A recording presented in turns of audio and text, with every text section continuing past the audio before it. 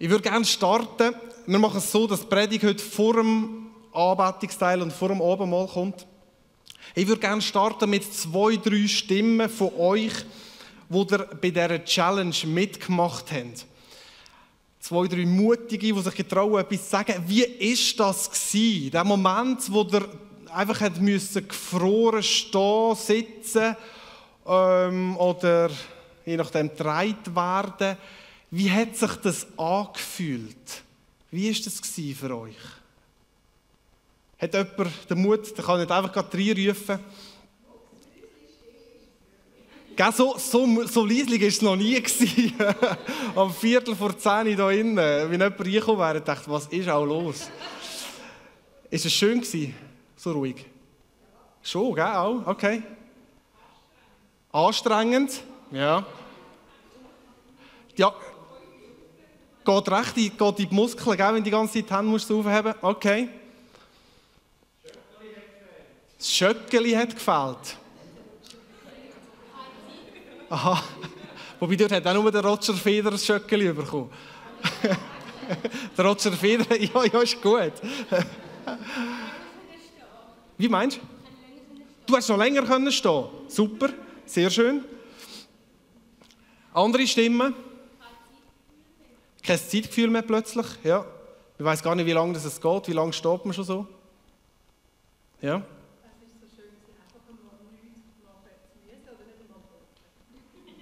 Du nimmst jetzt schon.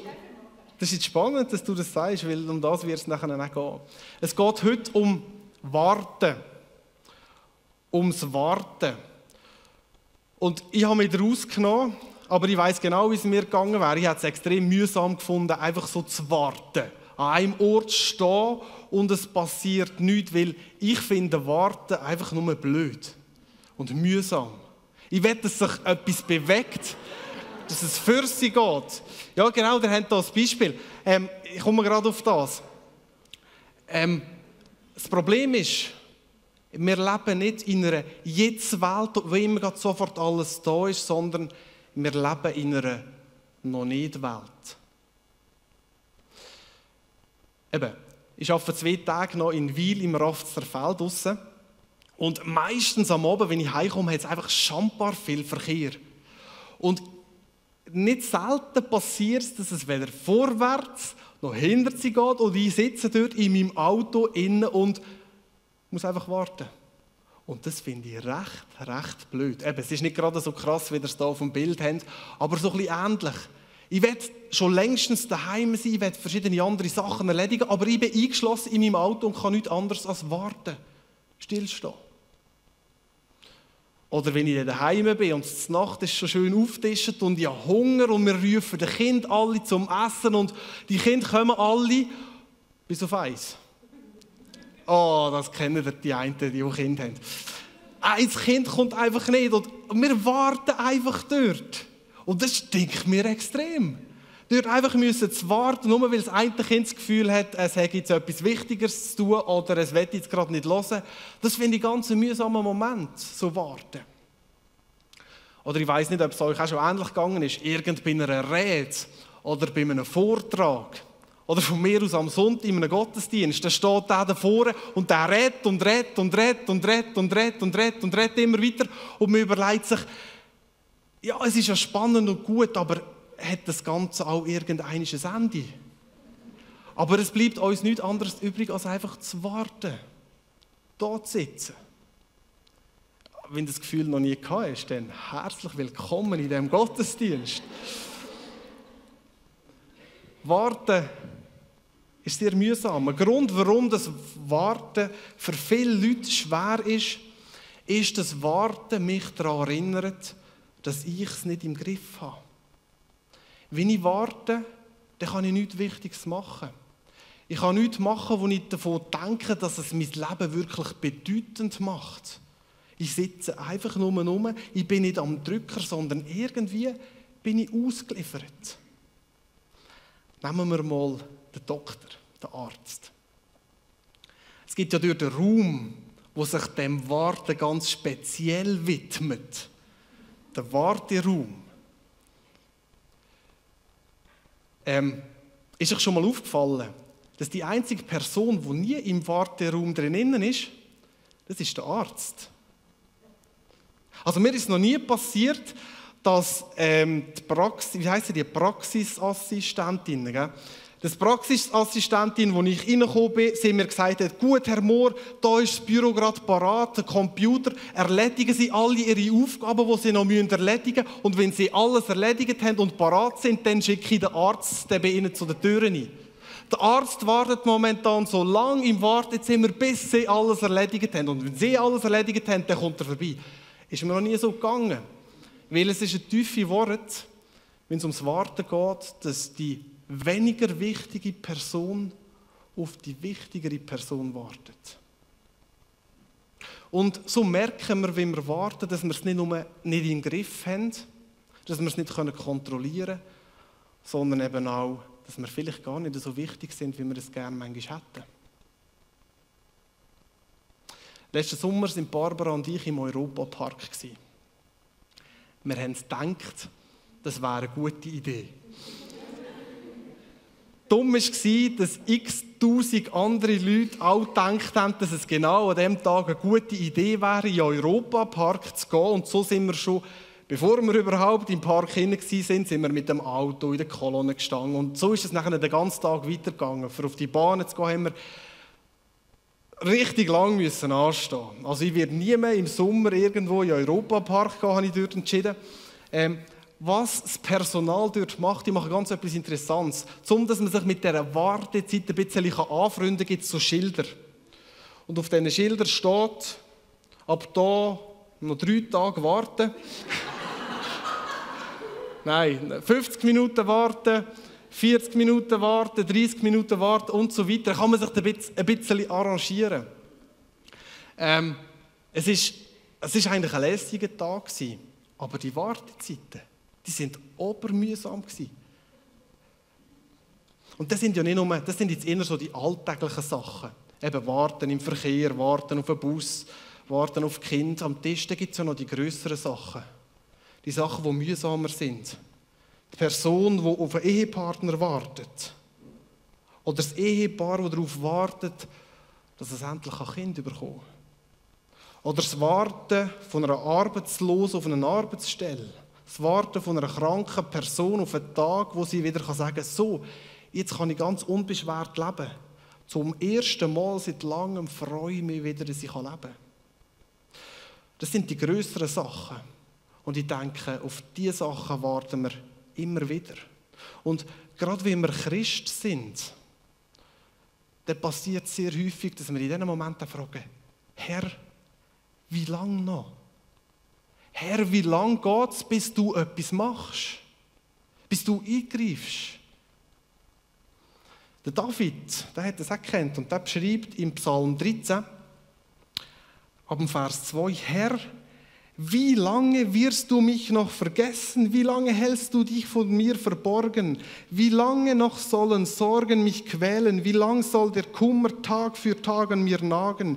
Wie lange noch wird mein Feind über mir stehen. Herr, mein Gott, wende dich mir wieder zu und antworte mir. Mach etwas. In der Bibel gibt es ganz viele Personen, die sich die Frage stellen, wie lange noch Gott, wie lange muss ich noch warten? Und das Verrückte an der ganzen Situation in der Bibel ist, Gott beantwortet die Frage in den seltensten Fällen. Gott schickt nicht ein Schild her und sagt, noch 50 Minuten, oder morgen in einer Woche oder ab jetzt noch zwei Jahre und nachher beantworte ich die Frage. Nein, das Einzige, was er sagt, ist in der Regel, wart einfach. Die Sache in der Bibel mit dem Warten, die kommt häufig vor und es gibt sogar einen speziellen Ausdruck für solche Menschen, die im Glauben stehen, wo warten, dass Gott etwas macht. Warten auf den Herrn heißt es warten, bis Gott eingreift. Die Bibel sagt zusammenfassend, sagt nicht, dass Warten etwas Tolles wäre. Dass Warten etwas Lässiges wäre. Und sie beantwortet auch nicht alle Fragen in Bezug aufs Warten. Aber sie setzt ein Aber dazu. Warten ist zwar mühsam und blöd und nervig, aber es Aber gibt es. Wenn wir in die Bibel schauen, entdecken wir ein paar kraftvolle Worte rund um das Warten. Und um das geht es in den paar Minuten, die noch bleiben. Bis ihr nicht mehr warten Das führt uns ganz direkt zu dieser weihnachtlichen Geschichte von der Hannah und vom Simeon. Der Lukas, der Evangelist, der beschreibt ja die ganze Geburtsgeschichte von Jesus. Wie Jesus auf die Welt kommt und dann schreibt er das mit den Engeln und mit den Hirten. Wunderbare Geschichte. Wie geht es nachher weiter? Es geht nachher weiter, dass Maria und der Josef Jesus nehmen und auf Jerusalem in den Tempel bringen, so wie es das Gesetz verlangt hat für die Erstgeborenen. Und dort im Tempel, dort begegnen sie am Simeon und dort heißt es, damals lebte in Jerusalem ein Mann namens Simeon. Er war rechtschaffen, richtete sich nach Gottes Willen und wartete auf die Hilfe für Israel. Und dort in dem Tempel begegnete Simeon der Maria und dem Josef und Jesus und der Heilige Geist zeigt ihm, dass das Kind genau das Kind ist, wo er darauf gewartet hat, dass das genau die Hilfe für Israel ist. Der heißt noch von einer anderen Person, von der Hannah. In Jerusalem lebte damals auch eine Prophetin namens Hannah, eine Tochter Penuels aus dem Stamm Ascher. Sie war schon sehr alt. Nach siebenjähriger Ehe war ihr Mann gestorben. Sie war Witwe geblieben und war nun 84 Jahre alt. Also stell dich das mal vor. Sieben Jahre war sie geheiratet, dann ist ihr Mann gestorben und jetzt ist sie so, schon 84. Die hat sehr lange als Witwe gelebt und in dieser Zeit war es noch etwas anders als in unserer Zeit heute, um als Witwe zu leben. Ich meine, es ist schon heute nicht einfach. Aber in dieser Zeit war es noch, noch, noch bisschen schwieriger. Sie verbrachte ihre ganze Zeit im Tempel und diente Gott Tag und Nacht mit Fasten und Beten. Auch sie trat jetzt zu Josef und Maria. Voller Dank pries sie Gott und zu allen, die auf die Erlösung Jerusalems warteten, sprach sie über dieses Kind. Also die ist zu all denen, scheinbar hat das irgendwie eine Gruppe gehabt von Leuten, die mit ihr zusammen auf die Erlösung von Jerusalem gewartet haben. Und hat mit denen angefangen, über das Kind zu reden. Also grundsätzlich haben wir zwei Personen, die gewartet haben. Es ist der Simeon und es ist Hannah. Zwei Sachen gibt es, die wir von ihnen lernen können, wenn es um unser Warten geht.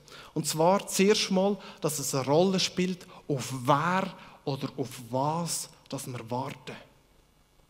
Auf wer oder was, auf was hat Simeon und Hannah gewartet? Es heißt da, sie haben auf der Lösung von Jerusalem oder auf die Hilfe von Israel gewartet. Jetzt, das ist alttestamentliche Sprache. Im Alten Testament hat man so geredet, wie man vom Messias geredet hat. Von dem Mann, von dieser Person, der Licht bringen in die Dunkelheit. Und genau auf die Person haben Hannah und Simeon gewartet. Es ist ihnen nicht darum gegangen, in erster Linie, dass Gott ihr Leben in Ordnung wird bringen, gerade bei der, bei der Hannah als Witwe auch, dass sie irgendwo wieder heiraten kann. Sicher hat sie irgendwo in die, in die Richtung auch Wünsche gehabt, aber am Schluss hat sie auf den Messias gewartet. Die haben nicht gewartet, dass Gott ihre Umstände wird ändern, dass Gott sie mit Geschenken überhäuft, ihr Portemonnaie wird füllen, ihnen ein Einfamilienhäuschen wird schenken. Nein, sie haben auf einen Herr gewartet. Ich sage das darum ganz bewusst, weil viele Leute, auch viele Christen denken, auf einen Herr warten heisst, dass ich warte, bis Gott dieses oder jenes in mein Leben schenkt. Dass Gott dieses oder jenes richtet, mir am Schluss eigentlich das gibt, was ich will. Dass Leute denken, auf den Herr warten heisst, dass ich warte, bis Gott meine Umstände ändert, meine Wünsche so erfüllt, wie ich es gerne hätte. Und ich warte einfach, bis das passiert. Das ist gefährlich. Wenn ich auf den Herr warte, so verstehe. Weil warum ist es gefährlich? Das erste Mal ist es gefährlich, dass wenn ich so eine ganz fixe Vorstellung habe, was Gott in mein Leben muss einschenken muss, es kann sein, dass Gott mir das gar nicht schenken will. Und dass ich mein ganzes Leben lebe und so verstieft bin darauf, dass ich endlich das eine überkomme und unbedingt, weil ich muss das unbedingt haben, weil sonst kann ich nicht glücklich sein, dass ich mich so konzentriere darauf, dass ich ganz vergesse, was nebendran alles für wunderbare Sachen mir Gott ein Leben nie schenkt. Also das Gefährliche kann daran sein, dass ich mich auf konzentriere darauf auf etwas, wo Gott, wo ich ein Leben lang warte, wo Gott nämlich gar nicht für mich parat hat. Das Zweite, was gefährlich ist, es kann sein, dass Gott mir das tatsächlich gleich schenkt. Und dass ich dort bin und dass ich merke, hm, ich warte eigentlich immer noch auf etwas. Ich weiß zwar nicht ganz genau auf was, aber das, war gar nicht die Erfüllung von dem, wo, von dem, was ich wirklich gehofft habe. Es macht mich gar nicht so glücklich, wenn ich mir das wirklich wünschte. Es ist entscheidend, auf was dass du wartest. Der Simeon und Hannah haben nicht darauf gewartet, dass Gott ihnen einfach Geschenke gibt, sondern sie haben auf den Herr direkt gewartet. Sie haben auf den Messias gewartet, um ihn kennenzulernen, um ihm begegnen, um mit ihm zusammen zu sein. Meine Frage ist, auf was wartest du? Weil das ist eine Entscheidung, die man auch trifft. Auf was will ich warten? Wo will ich meine Prioritäten setzen? Wart auf etwas, wo sich wirklich lohnt, darauf zu warten. Das ist das Erste, was wir von diesen beiden lernen können. Da gibt es noch etwas Zweites, und zwar die Frage, wie haben sie gewartet? Haben sie einfach passiv gewartet? Sind sie einfach umgehockt und haben Däumchen getragen? Nein, nicht wirklich von der Hanna heisst, sie war Prophetin. Sie ist jeden Tag im Tempel, sie ist mit ihrer Aufgabe gestanden. Sie hat ihre Aufgabe als Prophetin da, sie hat gebetet, sie hat gefastet, sie war für die Leute da. Sie war sehr aktiv in dem allem innen, wo sie gelebt hat. Und genau gleich heisst es vom Simeon auch nicht, dass er irgendwo sich zurückgezogen hat in sein Häuschen und Türen zugemacht hat und dort alleine war. Nein, die beiden sind da, sie sind präsent, sie sind im Tempel. Warten heisst nicht, nichts machen. Auf einen Herr warten hat nichts damit zu tun, dass ich einfach apathisch und passiv bin. Also wenn jetzt die Chef oder deine Chefin kommt, und es gibt ja manchmal Jahresabschlussgespräche, und sie kommt zu dir und sagt, guter Mann, gute Frau, wieso zeigen Sie nicht ein bisschen mehr Initiative und Mut? Und du nachher antwortest und sagst, hm, nein, ich warte auf den Herr, dann ist das nicht unbedingt die Art und Weise, wie Gott sich dein Leben vorstellt. Ja. Warten heisst nicht nichts machen. Der Simeon und Hannah, die sind mit in ihrem Leben gestanden.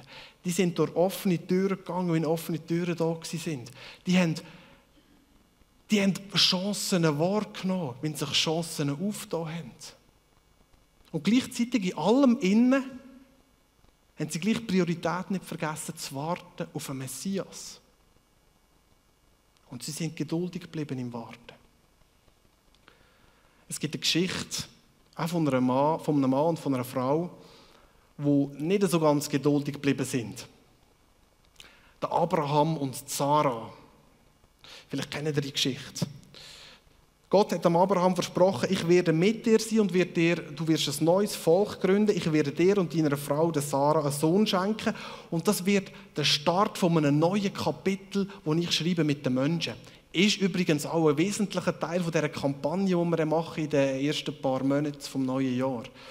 Eben, das sagt Abraham, Gott am Abraham und Abraham, der ist mittlerweile 75 und er verwundert sich, Gott, wann passiert das endlich?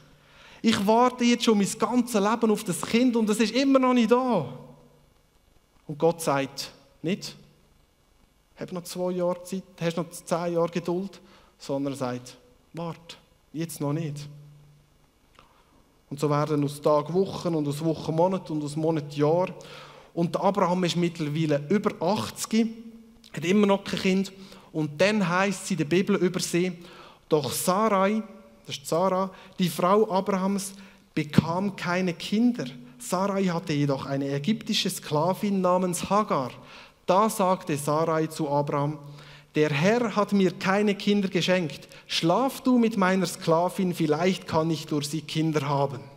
Also Zara sagt eigentlich nichts anderes als, das Licht ist immer noch auf Rot. Es wird nie grün. Gott hat uns scheinbar vergessen. Nehmen wir das Heft doch selber in die Hand. Ich mag nicht mehr warten.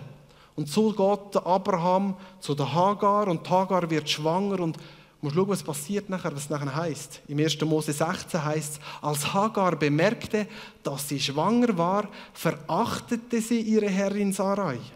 Da machte Sarai Abraham einen Vorwurf. Das ist alles deine Schuld. Jetzt, wo meine Sklavin schwanger ist, werde ich von ihr verachtet. Dabei habe ich sie dir doch zur Frau gegeben. Der Herr soll Richter sein zwischen dir und mir. Abraham entgegnete ihr, sie ist deine Sklavin. Mach mit ihr, was du für angebracht hältst. Doch als Sarai hart mit ihr umsprang, lief Hagar fort. Also Sarah sagt, ich mag nicht mehr warten, es muss etwas passieren. Und der Abraham sagt genau gleich, ja, es muss etwas passieren, nehmen wir sie in die Hand. Und sie fangen an, billige Kompromisse zu machen. Sie fangen an, rote Ampellichter zu überschreiten. Mit massiven Konsequenzen. Mit Konsequenzen, die bis in unsere Zeit heute noch da sind. Die Bibel sagt, Hagar hat nachher einen Sohn bekommen, das ist Ismael. Und der Ismail, das ist der Stammvater von allen Arab arabischen Ländern. Spannungen, die heute noch da sind zwischen Juden und zwischen arabischen Ländern, die eigentlich genau da ihren Ursprung haben, wo ein Ehepaar nicht mehr hat mögen warten und das Heft selber in die Hand genommen hat. Und das passiert immer wieder in anderen Situationen. Ich werde mit dieser Person schlafen auch wenn ich nicht verheiratet bin. Ich mag einfach nicht mehr warten. Ich habe so eine Sehnsucht nach körperlicher Nähe. Ich werde jetzt bei dem Rotlicht einfach ein bisschen, ein bisschen nachhelfen. Oder ich höre auf, für meine Kinder beten. Ich mag einfach nicht mehr warten. Ich habe Kraft und die Energie nicht mehr. Oder die Aufgabe ist zu hart. Niemand wird je mein Engagement bemerken. Ich mag nicht mehr warten, bis etwas passiert und bis eine Tür aufgeht. Oder ich werde mein Engagement in meiner Ehe ein zurücknehmen. Es ist mir einfach zu anstrengend. Ich mag nicht mehr warten. Oder ich habe zu dieser Verpflichtung zwar Ja gesagt, aber ich mag nicht mehr warten. Gott muss mich vergessen haben. Ich werde dem roten Licht ein bisschen nachhelfen. Das ist Aufgabe im Warten. Und die Barriere, wo Gott eigentlich setzt und wo wir wissen, eigentlich sollten wir nicht darüber gehen wir nachher gleich drüber. Ein rotes Licht, das wir einfach ignorieren. Und wenn das deine Situation ist, wenn du näher dran bist, beim Warten aufzugeben, dann werde ich dir sagen, Gott hat dich nicht vergeben, ver vergessen. Gott hat dir vergeben, ja, das ist auf jeden Fall. Gott hat dich nicht vergessen. Gott denkt an dich. Und Gott hat einen Weg für dich. Er lässt dich nicht allein, auch wenn es in dem Moment sich so anfühlt. Er hat vielleicht einfach ein paar andere Pläne als du. Heb durch. Bleib geduldig. Wart. Der Jesaja hat das unglaublich stark formuliert. Er hat gesagt, doch die, die auf den Herrn warten, die, die Herrn warten, die gewinnen neue Kraft. Sie schwingen sich nach oben wie die Adler. Sie laufen schnell, ohne zu ermüden. Sie werden gehen und werden nicht matt. Was für eine wunderbare Stelle. Die, die warten, die, die dranbleiben, da ist eine Verheißung von Gott. Da wird Kraft von Gott reinkommen. Das ist das, was Abraham und Sarah gemacht haben am Anfang. Sie haben gewartet. Und das hat sie dort schon Kraft gekostet. Warten kostet immer Kraft. Aber dann, wo sie sich entschieden haben, das Rotlicht zu übergehen, dann hat sie unter dem Strich nachher noch viel mehr Kraft gekostet.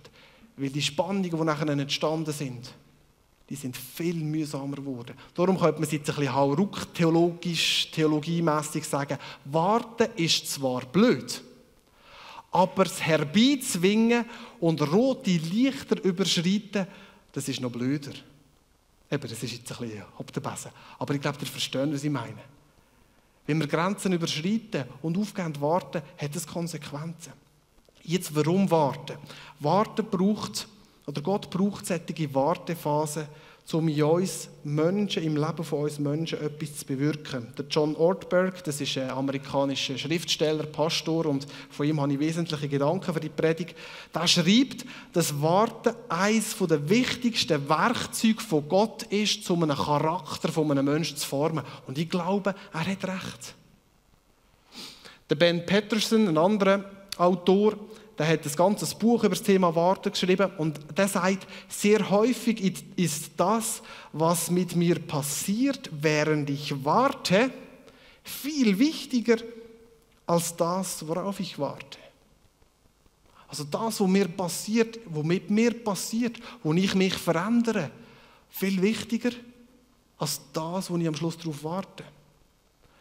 Warten ist zwar vielleicht mühsam und blöd, aber es schleift und schärft und formt den Charakter. Man merkt es an einer Person an, ob sie schon durch die Warteschule von Gott hat durch müssen, weil so eine Person ist geduldig.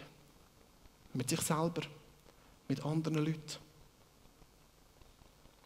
Darum wird ich nicht, weil warten musst. So, und jetzt gibt es noch eine wichtige Frage in diesem Zusammenhang natürlich. Ich meine, Gott gibt ja uns auch einen Willen und er gibt uns Kraft und er gibt uns Energie. Jetzt nehmen wir eine x-beliebige Situation. Wie ist denn jetzt das? Wird jetzt Gott von mir, dass ich warte und auf ihn warte, bis er etwas macht in meinem Leben?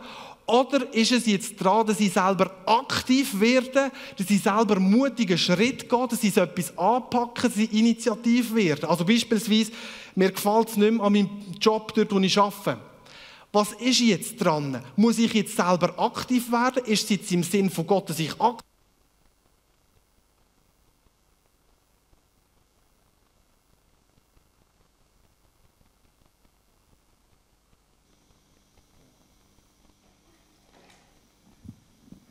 Also, muss ich selber aktiv werden? Das tue ich ganz anders. Oh. Oder ist es daran, zu warten und ruhig zu sein und auf Gott zu warten, bis er etwas macht? Das ist eine schwierige Frage. Und das kann man nicht einfach so pauschal beantworten. Ich habe aber gemerkt, es gibt eine ganz gute andere Frage, die ich mir stellen kann in so einer Situation, wo mir hilft, um eine Antwort zu finden. Und zwar, das ist die Frage.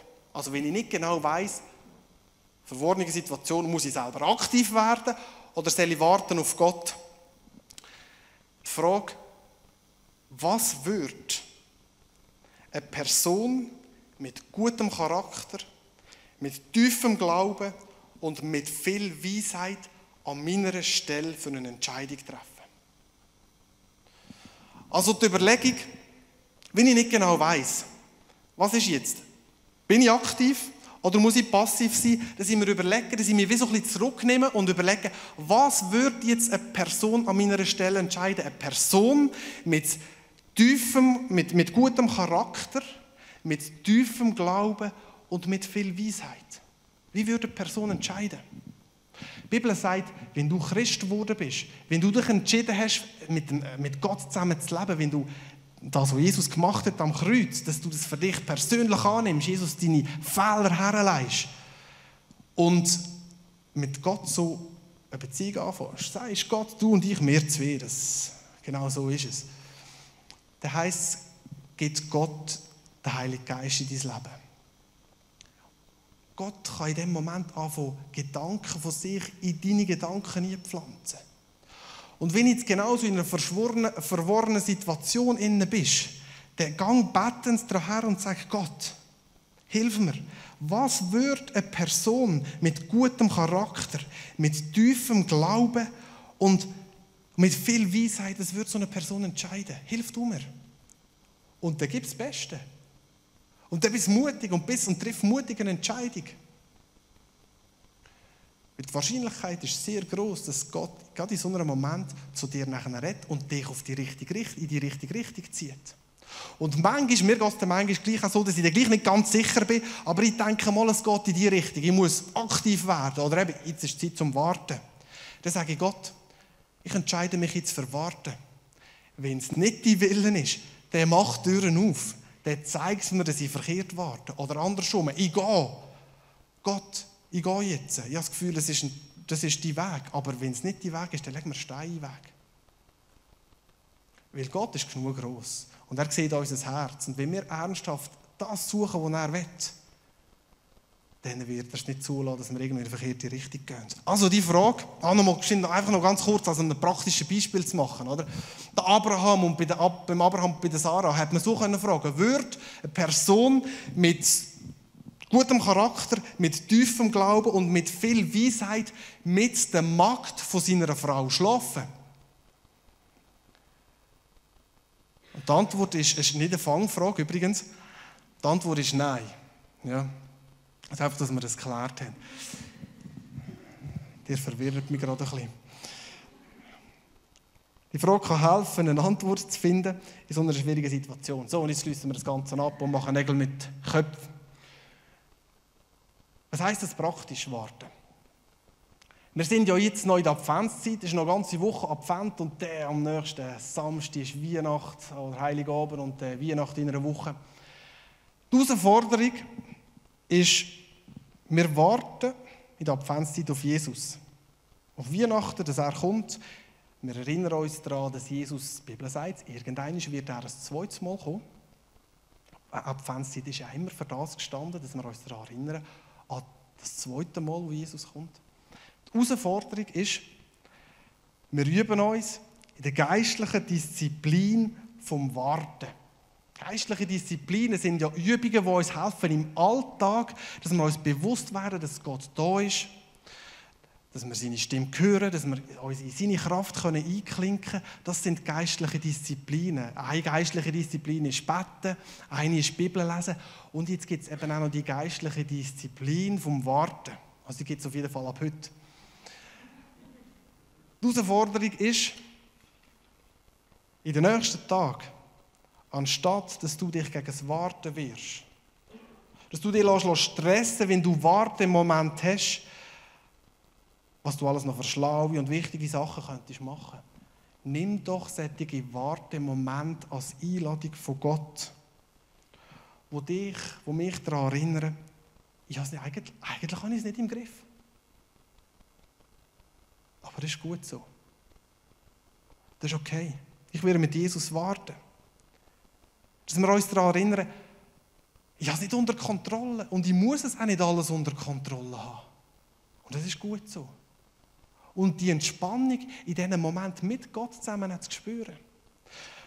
Wenn du gehst einkaufen dann nützt doch einmal so Mach so eine geistliche Übung beim Warten von der Schlange. Weil ich denke, du wirst müssen irgendwie anstehen, vor allem wenn du gegen das Ende der Woche dann noch gehst, einkaufen Dann such dir doch einig, anstatt die kürzeste Kolonne, such dir doch mal einig die längste Kolonne. Und stand hinter dran und mach es als eine geistliche Übung. Und dann kommt vielleicht einer und steht hinter dran her. Und dann lässt ihn führen und sagst, sie dürfen führen, ich warte auf den Herr.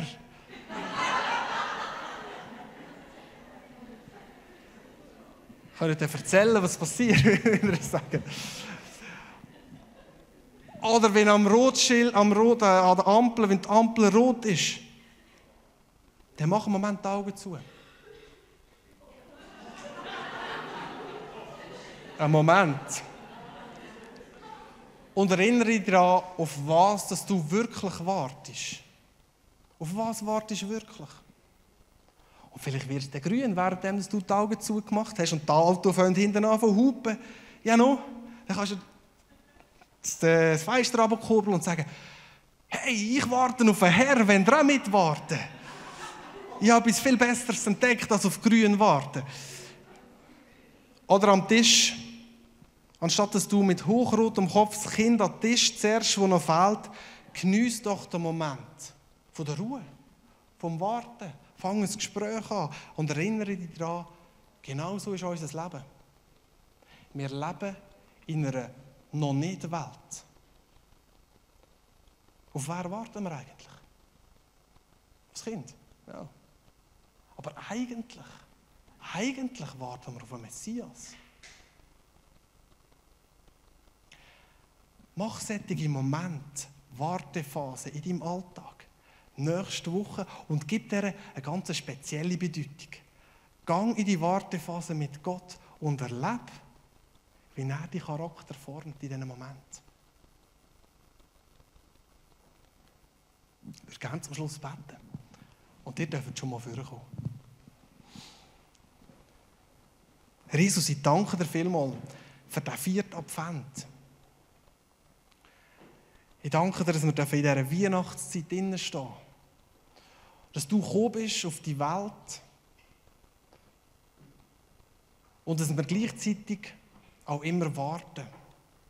Und das ist mühsam und manchmal stinkt es uns und verleidet es uns und wir haben manchmal einfach genug gewartet und wir wünschen uns in verschiedensten Bereichen, dass du eingreifst, dass du Türen aufmachst. Und ich werde bitten für uns alle zusammen, dass gerade an diesen Punkten, wo wir vielleicht fast am Aufgeben sind zum Warten, dass du uns Geduld schenkst, zum dran zu bleiben und nicht irgendwie billige Kompromisse einzugehen. Und vielleicht dort, wo wir billige Kompromisse eingegangen sind, dass du uns hilfst, zurückzugehen wieder und zu warten auf dich. Gib du uns Mut. Und Jesus, ich werde auch bitten, für die nächste Woche, dass du uns daran erinnerst, dass wenn wir warten, dass es Momente können sein, wo wir dir begegnen können, wo wir eine tiefe Begegnung mit dir haben, weil du der bist, der auf uns wartet und wartet, bis wir zu dir kommen. Lass uns eine ganz spannende Woche erleben, in diesen Wartephasen innen, wo du wirkst und eingreifst. Amen.